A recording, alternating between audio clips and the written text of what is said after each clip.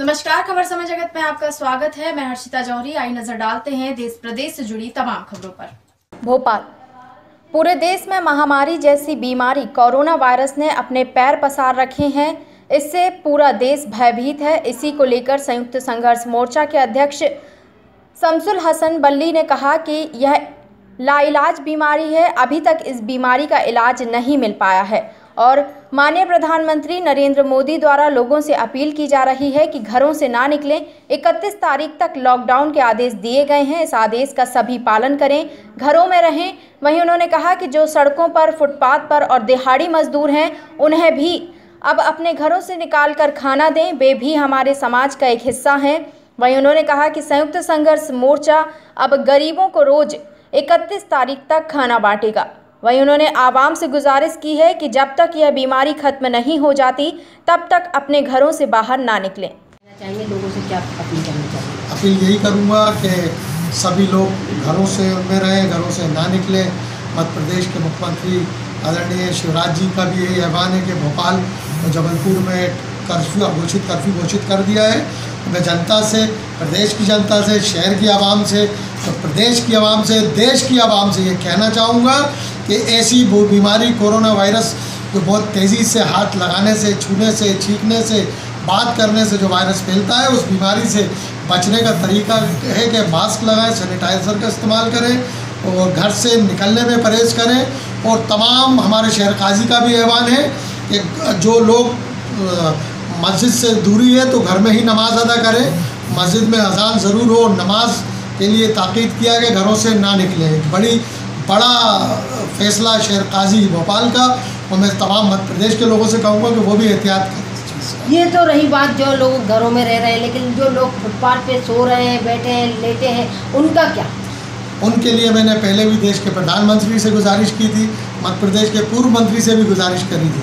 आज मैं वर्तमान मुख्यमंत्री आदरणीय श्री शिवराज जी से मैं ये गुजारिश करता हूँ कि जो फुटपाथों पर जो सो रहे हैं जिनके घरों में खाने नहीं बन रहे हैं, जो जिनका रोज़ कमाना, रोज़ खाना था, और जो गरीब तबका, मरू, मजदूर तबका था, जो बाहर से आए हुए शहर में तबका है, उनके लिए समुचित व्यवस्था खाने की की जाए, खाने पीने की की जाए, जिससे कि वो भूखे ना सोए। क्योंकि आपका कहना था कि मैं मामा मामा हूँ, मैं भूखा सोने तो ज़रूर दूँगा मध्य प्रदेश की आवाम को भूखा सोने नहीं दूँगा भूखा ज़रूर उठाऊँगा तो संयुक्त संघर्ष मोर्चे के आप अध्यक्ष हैं तो क्या आप ऐसे लोगों की मदद के लिए भोजन बांटेंगे? बिल्कुल मैं हम लोग सब यही मशवरा कर रहे हैं कि एक दो दिन में हम लोग खाना बांटना कल से शायद शुरू करेंगे। हम लोग आप मेरे तमाम साथियों से भोपाल के नौजवानों से तमाम यहाँ के जो सामाजिक कार्यकर्ता हैं सामाजिक संगठन हैं उनसे ये गुजारिश करूँगा। सब अगर पाँच पाँच किलो आठ आठ किलो अगर खाना बनवा कर गरीबों में अस्पतालों में लेकर जाते हैं वो डेरों में जाते हैं गरीबों के लिए तो बहुत खुशी की बात होगी। आपसे सभी से हाथ जोड़ कर निवेदन है कि आविला में शोर ध्यान दें और गरीबों के उत्थान के लिए सरकार भी आ गया है, मुख्यमंत्री जी भी आ गया है, सामाजिक संगठन भी आ गया है और शहर के जो तमाम नेता हैं उनको भी आगे आना चाहिए।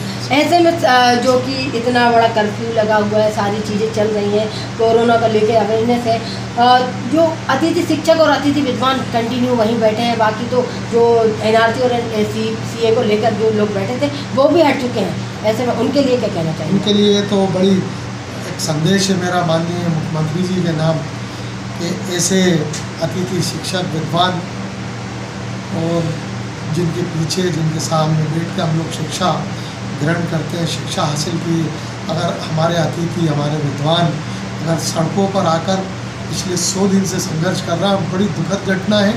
मैं मध्य प्रदेश के मुख्यमंत्री से ये मांग करता हूँ कि अविलंब उनकी मांगों का निराकरण करें, जिससे कि वो अपने घर जा सके, घर संभाल सके, क्योंकि उनके घरों में भी खाने के, दूध के, खाने के लाले पड़े हुए वो भी आज इस हालातों में नहीं है कि अपना घर परिवार को चला सके। अविलंब उनको समुचित व्यवस्था जो कर्फ्यू के बाद जो दी जाती है पूरी समुचित खाने पीने के उनके परिवारों की व्यवस्था करें और उनकी मांग का निराकरण करें जिससे कि मध्य प्रदेश की आवाम और मध्य प्रदेश के नौजवान मध्य प्रदेश के छात्र उन आपकी सरकार के और आपके आभारी रहें। खबर समय जगत के लिए संवाददाता शक्ति भारती भोपाल। तमाम खबरों से रूबरू रहने के लिए देखते रहिए खबर समय जगत।